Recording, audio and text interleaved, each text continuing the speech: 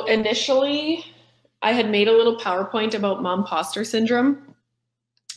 And I practiced it on my husband last night, which he was a great listener. Um, and then I was like, well, if all the people that are coming to the session listen to the podcast and read the blog, then they're already going to know pretty much all that content. So I was like, maybe we should just do like a fun Q&A. When Alana, who is like the person that heads Moms TO and she created Mom Fest, she asked me to do this session and she was like, just do whatever you want to do. So I was like, well, maybe I can just switch it up and do a Q&A. If you go to festival goers at the top, then click breakout room. Oh, cool.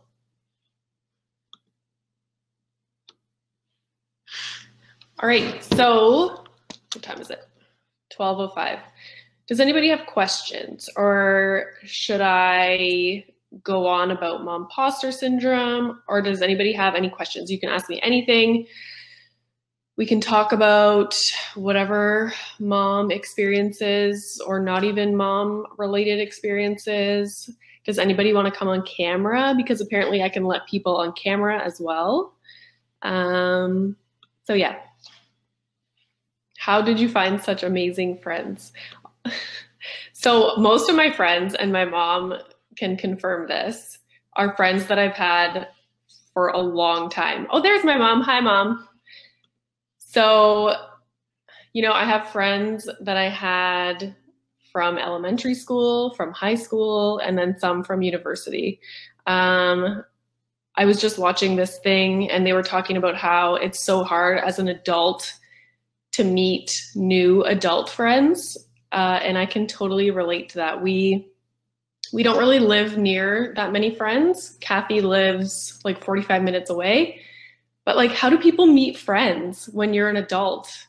Especially during COVID because, you know, I'm not going to yoga classes or even if I was, like how do you make adult friends when you're not in school anymore? How do you guys meet friends? Like, is there like a Tinder for friends? That would be actually an amazing idea. Tell me, Kathy, how do you find amazing friends? There is a Tinder for friends? Oh my God. That's actually amazing. I love that. I guess a lot of people meet friends, but maybe not even like at their workplace but now with COVID, most people are working at home. It's kind of like isolating. Yeah, exactly. I would, it's definitely hard to meet mom friends. As moms, it's weird. Like you feel lonely all the time, but then also it's hard to like maintain contacts and maintain friendships because even though you're insanely busy, it's like you feel lonely and like you want to go do things with other people, but it's also a struggle to get out of the house sometimes. So, yeah. Oh, my mom lost sound. Now that I have a baby, I just click with other mom friends. I was getting the oil change, started talking to this other mom, and now we regularly go for walks. That's so nice. I used to, when Milo was really young, I went to um, like an infant playgroup thing that was put on by the city. They're called EarlyON centers in Ontario. And me and two of my friends would always bring our kids there. I think it was once a week. And it was so nice just to have a plan for the next day to, like, oh, at this time we're going to get ready, we're going to go uh, do whatever craft or activity they had set up. Um, and it was fun, even though it was like an hour long thing. It like made your whole day because you were getting out of the house and doing something. Neighborhood playgrounds, yeah. I find now with COVID though, it's, I know, like, I don't know how people are doing it with really young babies in the time of COVID because it's even me when I bring Milo to the park, it's awkward because you know, I'm not going to scream at a mom from across the park. And then you don't want to get super close to people.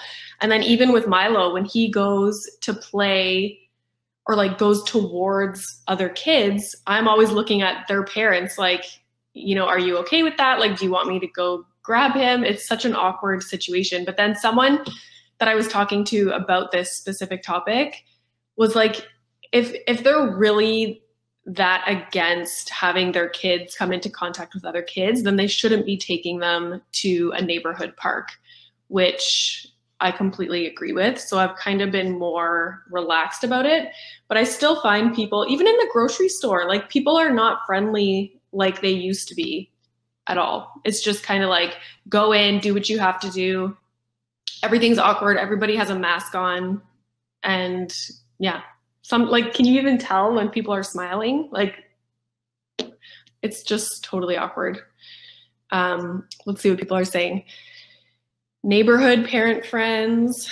Yeah, like in our neighborhood, there's so many kids, but like, how do you meet the parents? It's it's strange. Yeah, I'm assuming most people are in Ontario because this is a Moms TO event. So I'm sure all of you are familiar with the EarlyON uh, centers. I just started following you recently. Love your stories. How did I get started? So I get asked this question all the time because I think a lot of people are like, you have a PhD in psychology and you make TikToks, and that's true. Um, but yeah, after I had Milo, I was pregnant and had Milo during my PhD program. So I did my 12 month maternity leave. And then at the end of my maternity leave, I was like, oh, like I wanted to do something creative because I hadn't done anything in 12 months. And I just had a little bit of my PhD to do to finish. So I started a blog and I didn't even mean for it to be all mom related content, but obviously that's what I was going through at the time. And a lot of things that I completely did not expect to happen after having a baby, like how difficult the postpartum recovery was, not wanting visitors after bringing Milo home from the hospital. I was not expecting those things at all. And so I was like, I'm going to write about them and write about them like super honestly. Uh, and then when I started posting those blogs and talking about these topics on Instagram, I don't even know if my name was the mom room at that point. Um, people were just messaging me nonstop, like, oh my God, I relate to this so much. I didn't want visitors either.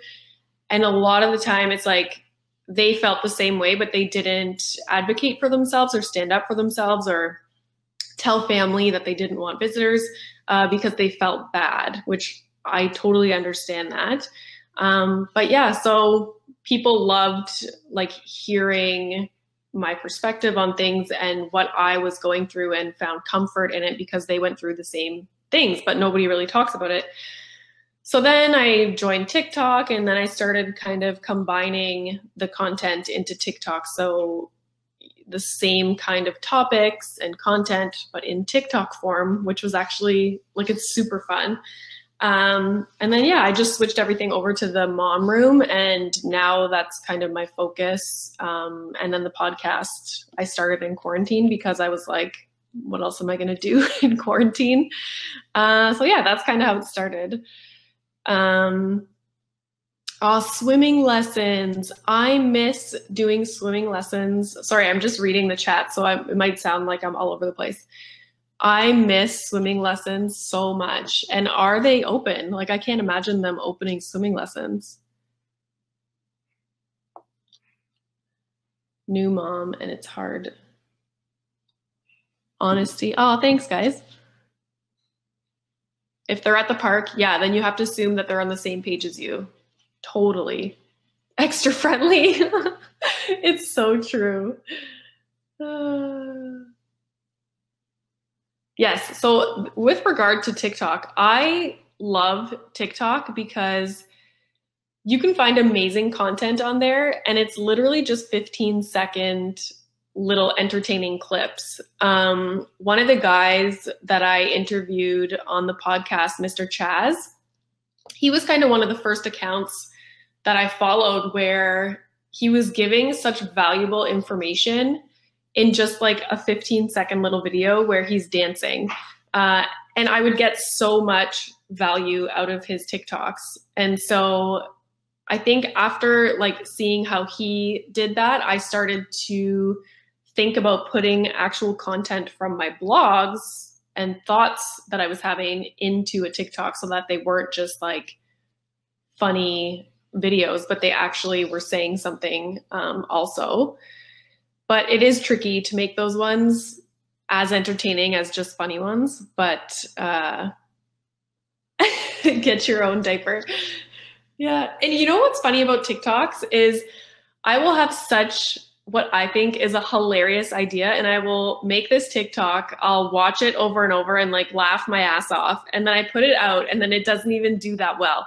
And then I'll make another TikTok within like two seconds, just, you know, in passing. I have this idea and I make a TikTok quickly and post it. And then it like blows up. So you like I never know which TikToks are going to do well and which are not. But that one that you were talking about about um, telling the dad to get their own diaper, that's the one that Jillian Harris shared on Instagram. And I woke up one morning and I had like 900 messages from people saying, "Oh my God, Jillian Harris shared your TikTok." Uh, so yeah, that one is definitely popular. One thing I wanted to ask you guys because I love this question so much, and I don't know why, but I'm fascinated by knowing this, is who was everybody's childhood crush? Like, really think about it. Like, who was your number one crush when you were younger? Jesse McCartney. That's that's interesting. I haven't heard that one. I don't think. So mine was Zac Hanson from Hanson. I love Hanson.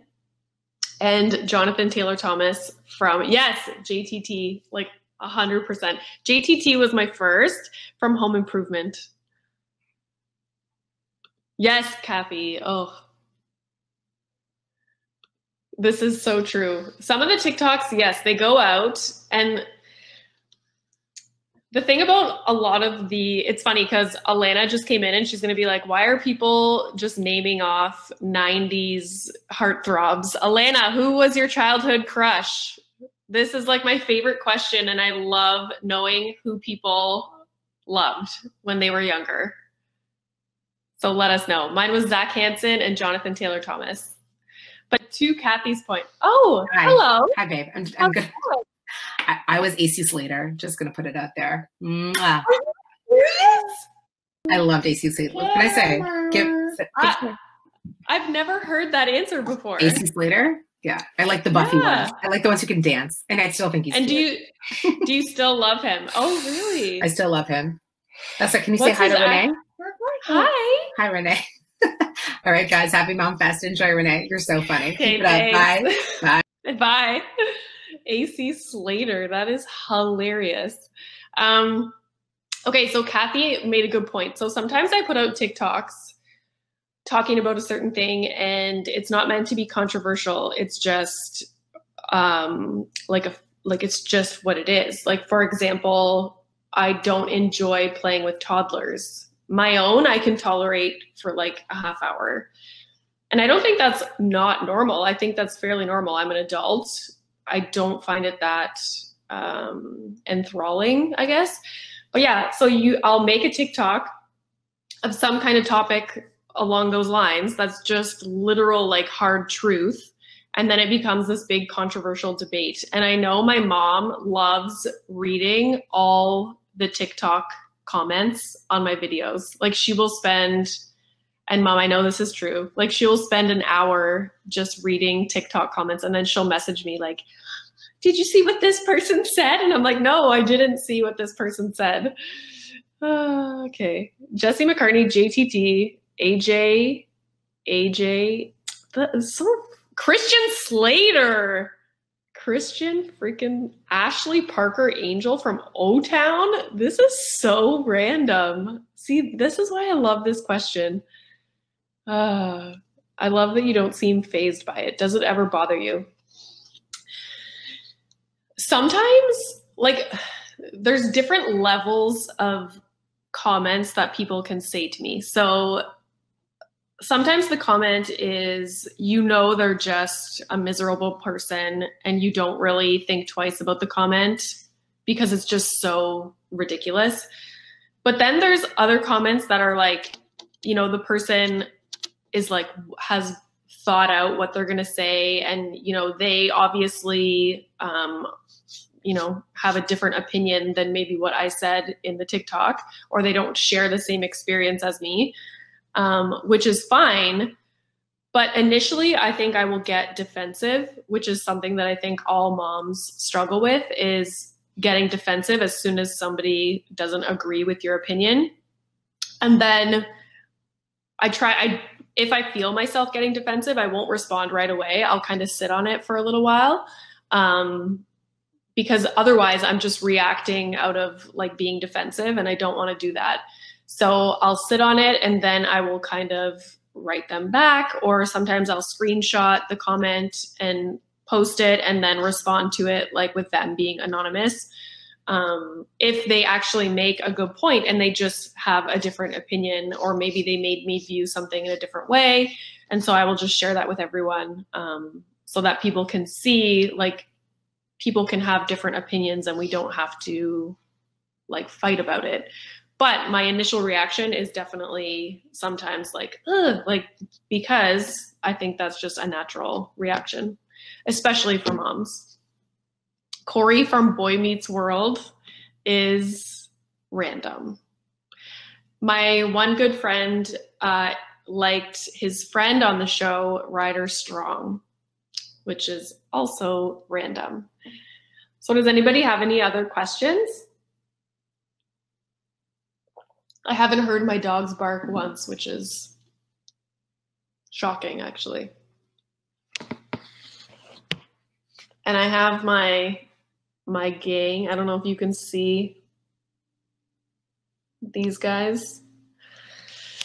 I hear you've got a book on the go. What's that about? So, somebody approached me. I've always wanted to write a book. Even before I started my PhD, I always remember going to the meeting with my supervisor and he asked like what are you going to do with your phd like why do you want to do a phd and i said i don't know write a book because really I just wanted to stay in school because I love being in school.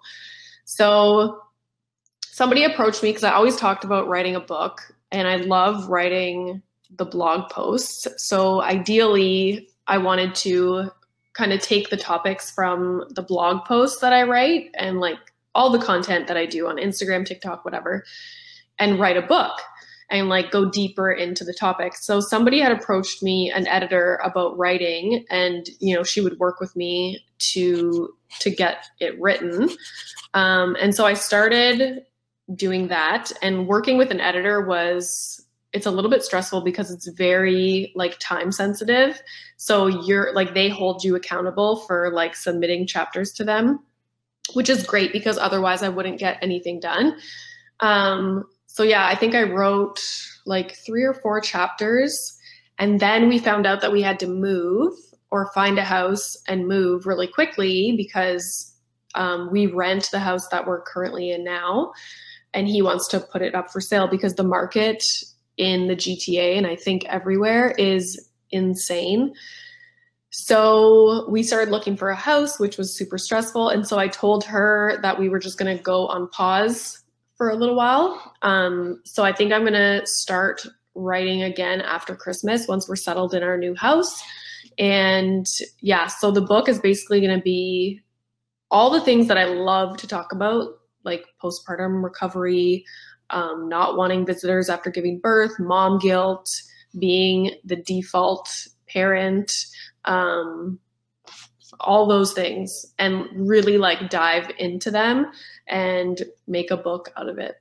So that's that's my goals. Oh my god, your friends questions are amazing. Isn't she? I'm waiting for my mom to ask a question. Mom. Let's see if my mom's in here. Yeah, she is. And she's not participating. So yeah, that's the book. She keeps popping in and out like a whack-a-mole. Tell us about your awesome mom. Uh, the default parent. Yes. It's it's so true and so many things that I kind of like low key felt, you know, since becoming a mom were like exacerbated during quarantine. And it was like, oh my God, all the feelings that you that I kind of had just like were amplified in quarantine, which is where I was able to like recognize all these things that just that's just our family dynamic. And it's not that it's wrong or it's anyone's fault. It's that's just how our family kind of ended up working. And which i don't think is uncommon because my husband works a lot um, especially in quarantine. I was home so yeah default parent is is like it's a whole different thing. And it's hard for i think the person who's not the default parent to understand what that's like. And a lot of it is not even like physical tasks. A lot of it is mental like the mental load of constantly having to think two steps ahead or planning for whatever is coming next. Um yeah it's a lot and daycare related your opinion starting daycare full time without a transition so for us like obviously milo started daycare for us um, not during COVID. So it was very different. He, you know, we got to see the daycare before we signed him up, and he went for a little visit. I was with him. Like parents were one, you know, a while ago, parents were allowed into the daycares, which is crazy that we're not now. But, anyways, I went in with him for a visit. Then he went for like an hour. And then the next day he did an hour and had lunch. And like we just kind of gradually um, put him in. However, my friend Kathy, who is in the chat, she started her daughter in daycare during COVID, so recently, and she had an amazing transition. And I think she did half days um, and then moved into full days and also did like two or three days for the first week and then two or three days for the next week and then went into full time. So the downside is that she started earlier than her going back to work full time, but it does make for probably an easier transition for both the child and for the parent because I think sometimes those situations are harder on us than it is on the kid. Like most kids transition very well. Yeah, exactly. That's another thing. Daycare is so expensive that you know to do this nice transition that is ideal, you're you're paying for it. Um and I don't even think daycares right now are doing part-time um, kids because they have to keep the kids in you know tiny cohorts. Um, and so it just doesn't make sense to do part-time. Yeah. Okay guys there's two minutes left. I can't believe that was a half hour. I feel like what the hell if you guys have more questions or you want to chat about something um, just go to my Instagram. I think I'm going to dedicate one full day soon to just answering messages on Instagram because I'm so behind because I've had this sinus infection. So, thank you guys so much for coming. I'm happy we got to talk about some stuff. Um, and I presented my momposter stuff to my husband last night for nothing. But that's okay. he needs to hear these things. Okay, bye guys.